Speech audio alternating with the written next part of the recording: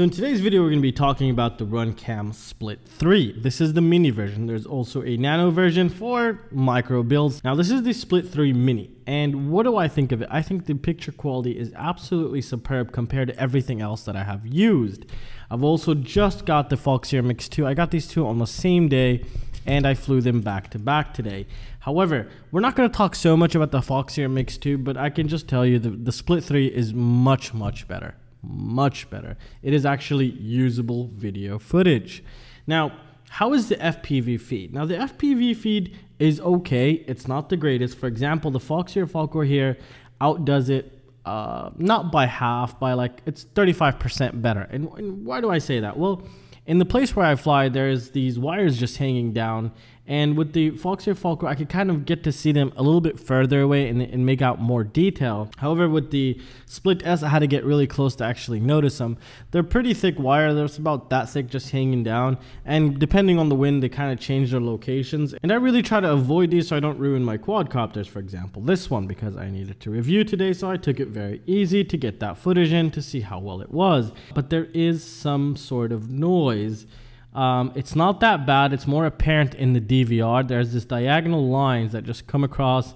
And I know that's not from the quad because I've tried other cameras with it.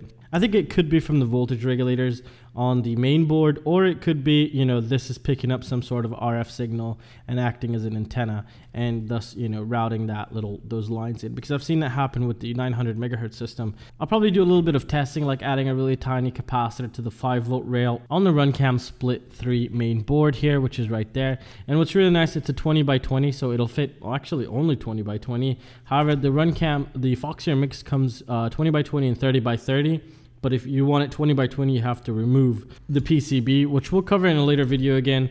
Um, but overall the clear winner here without a doubt is the Runcam Split 3 it is by far one of the best ones they've created. They just need just a slight little boost on their FPV analog video feed. And other than that I am truly impressed. But the Caddx 4K's analog video feed is worse than this one.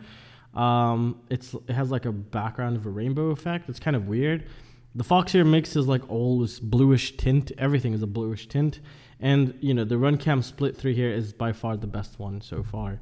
Uh, the Caddx is good too, but it does not compare to the uh, Runcam Split 3 here. And I'll leave it at that, guys. I'll have everything linked down below if you want to go ahead and check it out. And also the build video to this guy, if you've missed it, is also linked down below. And as you can tell, it's using Popos, which are really nice. And I'll see you in the next one.